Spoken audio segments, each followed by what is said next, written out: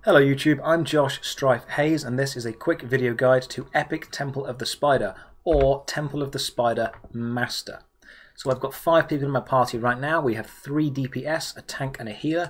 Going to click on Epic Dungeon, go down to Temple of the Spider Master difficulty and queue up for it.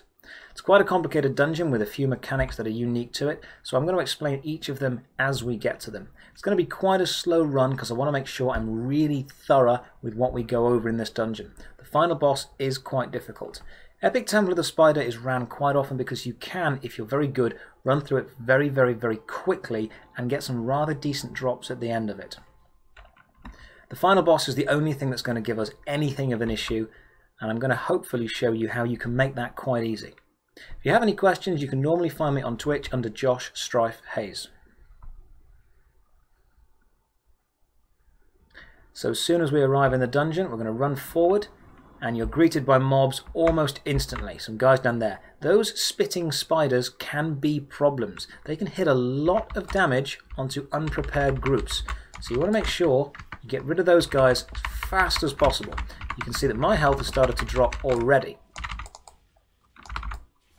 One of the tricks about running Epic Temple of the Spider is all the mobs you meet here will do a lot of damage to you.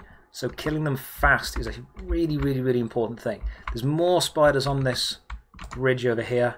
Hopefully we're going to take them all out as fast as we can. I want to kill anything before it has a chance to do damage to me. This room is the first room that will really challenge you. As you turn right, you'll see a Drider in the center of the room. More ads are going to spawn as you kill things. This is the first place that lots of parties wipe. So really go for it. Run straight in and do as much damage as you can. I'm getting most of my life back from my life steal. So believe it or not, the safest place for me is in the middle of loads of enemies doing some AoE. The spiders have a web attack that can pin you to the floor and immobilize you for a while. It's not deadly, but it is annoying. If you wipe in this room, don't worry. Just keep going. Talk to your team, work out some new tactics. All go in at the same time and make sure the tank is taking the aggro of whatever's causing you the most trouble. If you can survive this room, you can survive the rest of the dungeon. You're going to head down and over the bridge. There are some more enemies over the bridge. Nothing different to what we've dealt with before. So run forward and DPS.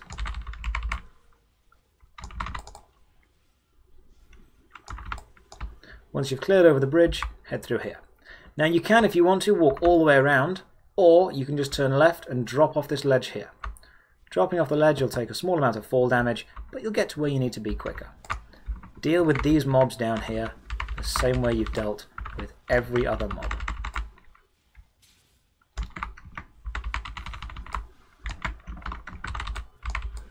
And once you've cleared those, continue down, activate the lever on the wall, and head through the first door you're going to arrive at your first bonfire. We're nearly at the first mini-boss. Before the mini-boss, you'll see these guys running up to greet you on the ramp.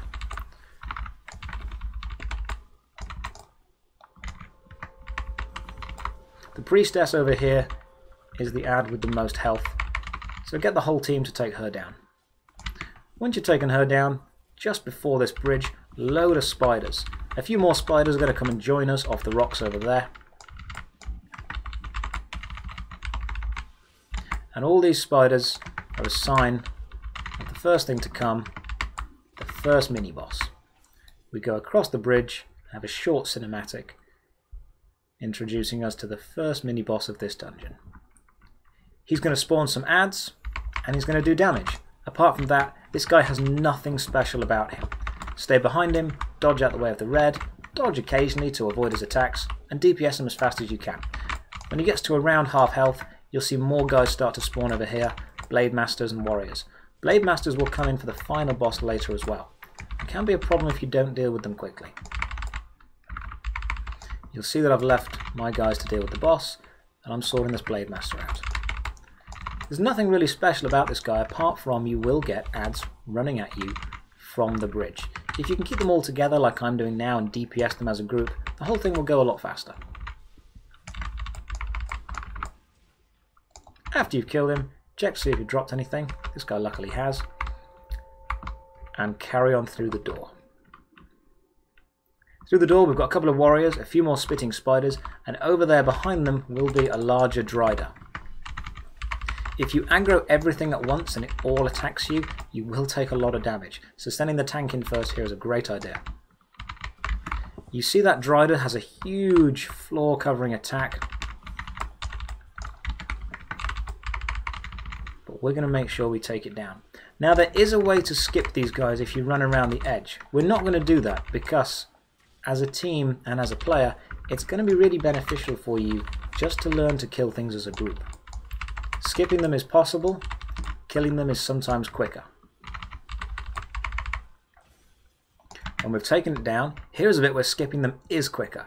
We could run up the steps and go right, or we can go left and hug this little gap here. We're going to hug the gap and head through, hopefully not aggro any of the mobs behind us, and we'll arrive at the second mini-boss. Nothing complex to start off with, run up and DPS her. She has several attacks. The first one just there is a large fan of knives covering the cone area in front of her. And as we get her down, she will spawn ads.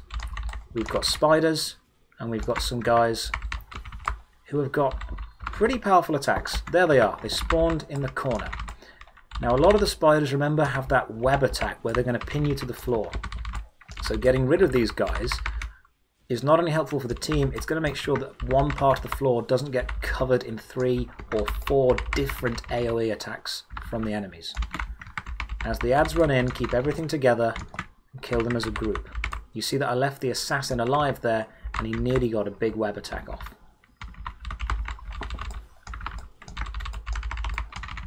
Once Harbron is dead, check her corpse to see if she's dropped anything and then we can carry on.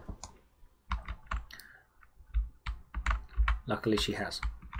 There's a chest here you can open. As usual, you can tell it's not a mimic because the loot icon appears in my aiming receptacle. If the aiming receptacle stayed as a circle, it would be a mimic. We carry on to the next bonfire and a few ads and spiders. Nothing that you haven't dealt with before. DPS them all down as fast as you can and then carry on through the dungeon. If you stick to the wall on the right here, you can avoid that assassin. I'm going to aggro it now just to give my team something to do.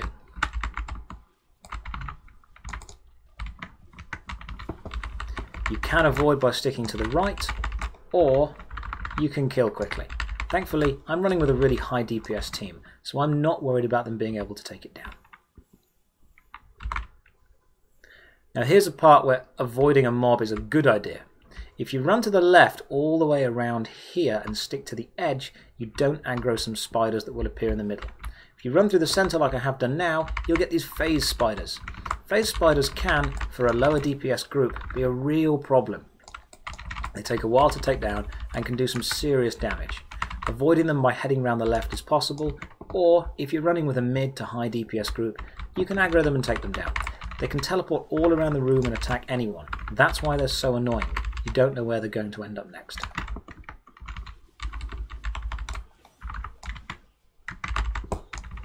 After you've dealt with the phase spiders, run over. See this log here, this huge rock, this will be standing up. You press F to push it down, run over it. Now instead of running all the way up, just turn left and drop off halfway. Dropping off halfway, you're going to drop into a pretty big fight. Over here, there are some mobs of enemies. If left unchecked, or if one person tries to take them all on and you're not geared for it, you will definitely die. So work with your team, get them all together and take them out. Once these guys are dealt with, we're almost at the final boss. There are just a few more rooms to go through first.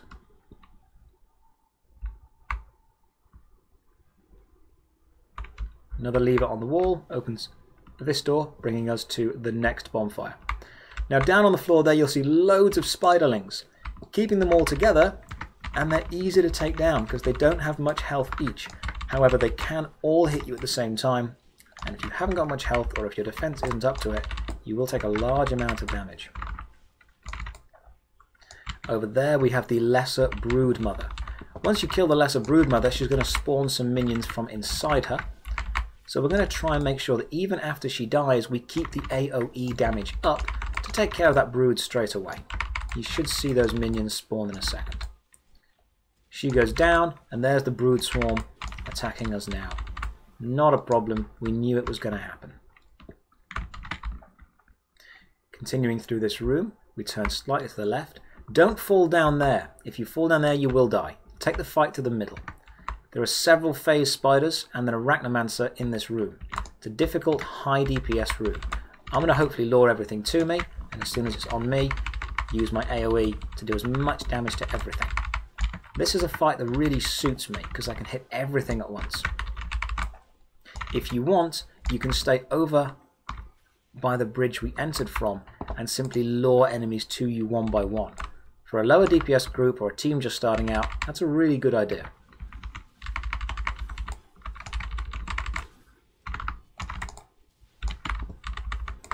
Once this room is clear, head through, we'll kill the final few mobs before we take on the boss. One or two mobs up on the hill, more spitting spiders, nothing you haven't dealt with before.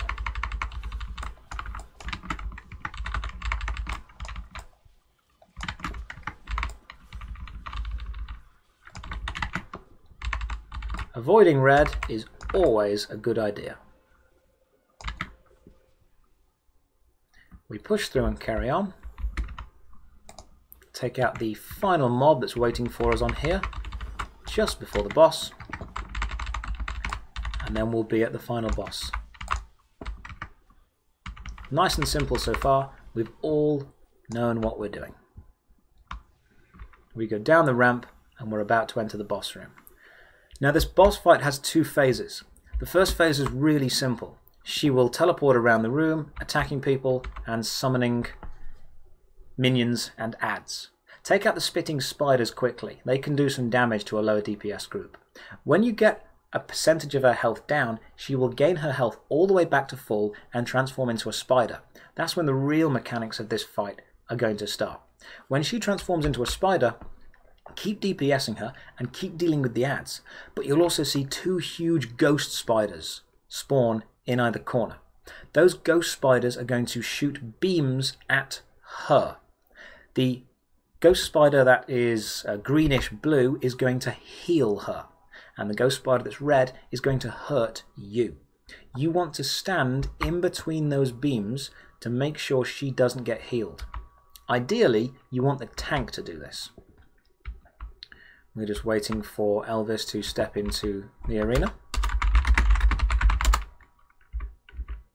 And then we're going to talk through. I will explain the mechanics as they happen. This is not a difficult fight if the team all work together. If you let the ads stack up too quickly or you don't deal with them fast enough, they will let you know about it. Now the first thing Syndrith is going to do as soon as we come in is throw some knives at us. So I'm going to dodge straight away and hopefully avoid that attack. There's the knife attack, we dodged. While she's in this phase, simply DPS her as fast as you can.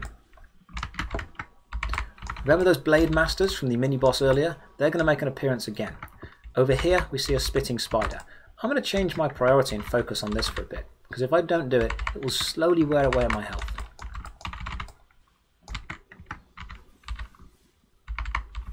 Spitting spiders are a great thing to kill first. If you have two or three DPS in your party, assign one of them just to kill the spitting spiders.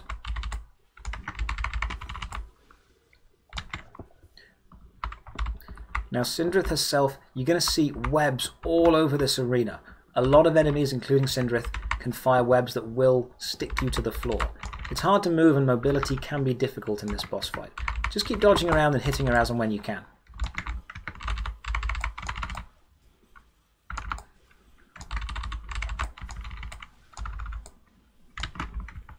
When we get her health down a little bit more, she'll gain all of it back and turn into a spider. That's when the difficult mechanics are going to start. I'm going to change my priority and focus on this Blade Master for a little bit, because I don't want him to become a problem later. Here are some more ads. You can see I wasn't kidding when I said if you don't take care of them, they're going to swarm you. Being in control of the situation is one of the most important things, no matter which boss you're taking on. She can teleport all over the room, so she's going to go from one side to another. Another reason why all these webs make her quite hard to kill. Now she's transformed. This is phase 2 of the fight. You'll see she's turned into a spider. This phase is both easier and harder.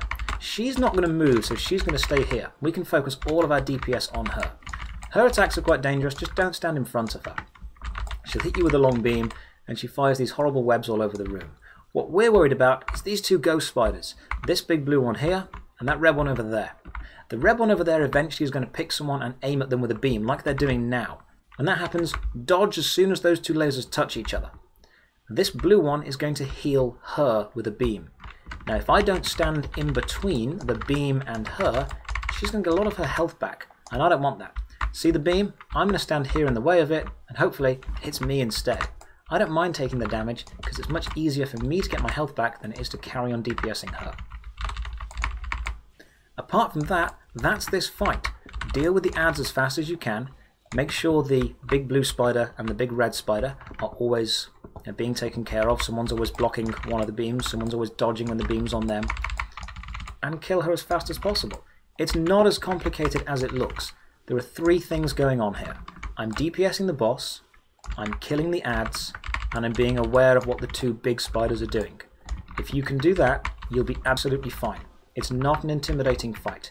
It does take a while if you have a team with lower DPS, and if she gets a few lucky hits on you, you can die.